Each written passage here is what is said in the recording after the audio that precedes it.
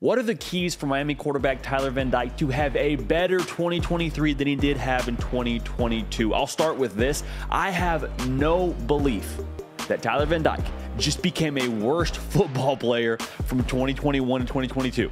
In 21, 25 touchdowns, six picks. In 2022, he was dinged up a little bit now, but he threw for 10 touchdowns, five interceptions. And I'm just not buying that Tyler Van Dyke isn't still that guy. We had Gary Ferman from CaneSport on the On3 Roundtable, so make sure you go and check out that channel. We had him on the show, and he told us, listen, the Tyler Van Dyke smoke that was going around on message boards and all those rumors you were hearing on the internet, those were absolutely true about him potentially being a target for Alabama. So at the very least, Nick Saban thought Tyler Van Dyke was good enough to play quarterback for him. Is if I'm reading between the lines there and taking that at face value, that's what that means to me.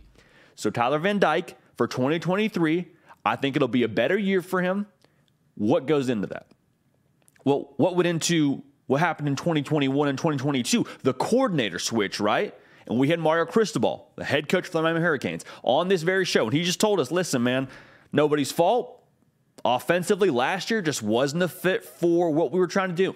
Just wasn't a fit. Okay, that's fine. Enter into the fray now, Shannon Dawson calling the offense. I get excited about Shannon Dawson calling the offense for Miami because Shannon Dawson has played quarterback before. He's coached quarterbacks before. And this is not by any stretch of the imagination a dunk on Josh Gattis. But when you look at the history of those two guys and the positions they've coached, Josh Gattis has a history coaching wide receivers. Shannon Dawson has a history coaching quarterbacks. And so, why that's important, as the coordinator, it is paramount for you to speak the same language as your quarterback.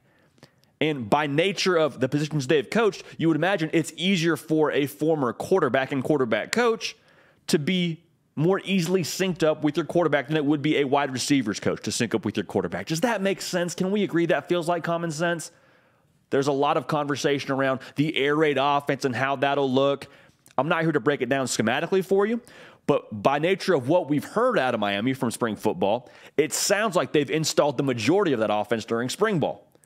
So I'm sitting here saying, okay, you, you installed the majority of your offense in 15 practices. That means it's easy to process. If it's easy to process and learn, then it's easy to take to the field and just ball. And when you're able to process quickly on the field, you get to let the instincts take over. Then you're not thinking so much, you're just playing football out there. You get to just go out there and sling it. And Tyler Van Dyke, he's proven he can sling it.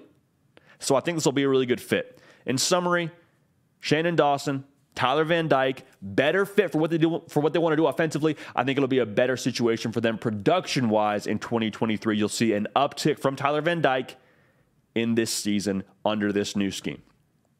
Make sure to subscribe right here now. We've had a lot of y'all loyal, raging Miami Hurricane fans come join this show in the last couple of weeks. So, one, we're glad to have you here. And if you haven't yet joined the party and subscribed, no time like the present. We're live tomorrow morning, 10 a.m. Central, 11 a.m. Eastern. Hit the bell on this channel to make sure you get notified when we do go live. All right, we appreciate y'all in advance for that. Another reason why I believe Tyler Van Dyke is going to be substantially better in 2023. You look at what he had last year on the offensive line. And again, I'm not here to dunk on the offensive line, but we judge you by your resume. And the resume last year for this O line, man, it wasn't great. It wasn't great. And there's a reason now Mario Cristobal went to the portal and got himself two offensive linemen in Javion Cohen and Matt Lee, who I believe are going to start for you. There's a reason why Francis Mauigoa is getting first team reps as a true freshman at tackle. There's a reason for all that because last year wasn't good enough. Going back to the resume, the sack rate for Miami was 8.5%. 8.5% of the offensive snaps Miami was taken last year ended in a sack. Y'all, it doesn't take a rocket scientist to know that's not great. And that makes Tyler Van Dyke's job a whole heck of a lot harder. Put it this way imagine that someone cut your workday in half. You're saying, Hallelujah, praise the Lord. Yes, I hear you on that, but imagine you have the same expectations for what you need to deliver on, but you get a four hour workday. That makes your job harder, right? It made Tyler Van Dyke's job harder. I'm not buying that he became a worse quarterback from 21 to 22. I don't believe it. I do believe that his job got harder because he had much less time to deliver the football to his playmakers. And to make matters worse, his playmakers didn't do him a whole lot of favors. Miami dropped 25 passes last year. Some quick math would tell you that's right around two drops a game. That ain't great now. That ain't great. That's not winning football. So this is the key variable for me for Tyler Van Dyke in terms of being successful in 23. I think he's got all the ability in the world to be successful. I don't have any reservations about that. Think the protection will be better. Think the scheme will be more suited to him. So with that being said now, receivers, we got to step up. That number I just said, 25 drops in 2022, it's not going to cut it. Not the standard at the U, not the standard to win football games in Miami. So some guys that I'm looking to have good seasons in 23, Xavier Restrepo, back healthy. You would hope for the duration of 23. He is that alpha dog at wide receiver. Reliable, durable in the slot for him, goes over the middle. I like him a lot. Expect him to be productive yet again. One guy we've heard a fair amount about, Ray Ray Joseph a youngin who I think could have a big impact, guy to keep an eye on. Somebody has to step up for this group. Somebody has to be the guy that can separate, consistently catch the football, and be the reliable target for Tyler Van Dyke. Because if you don't have someone to catch the rock for you, well, then the quarterback's going to look bad. And that happened a lot last year. So a lot of things around Tyler Van Dyke, I believe, are set up to be successful.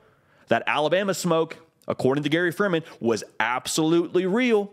Nick Saban wanted him on his football team, by the way it sounds. I have a rule in life. If he's good enough for Saban, he's good enough for me. I think Tyler Van Dyke is set for a really strong bounce back year in 2023. And I think Miami will reap the dividends of that. But again, Miami Hurricane fans, lock it in right here. We talk college football every single day. It's the middle of May. We're talking college football, and you're watching a college football video on YouTube. I promise you now, we're cut from the same cloth. Make sure you lock in right here and subscribe. Make sure you join us again tomorrow morning. Now, we're going to be live and live in color. Get in the chat with us. 10 a.m. Central, 11 a.m. Eastern. Hit the bell on this channel to be notified when we go live. It'll be a good time. Can't wait to see y'all there. So, with that being said, we appreciate y'all. We love y'all. We're going to keep this party rolling, and we will see y'all next time. Hey y'all, thanks so much for watching. Subscribe to the channel here to make sure you don't miss an episode of The Hard Count. Also be sure to check out other videos on the On3 YouTube channel.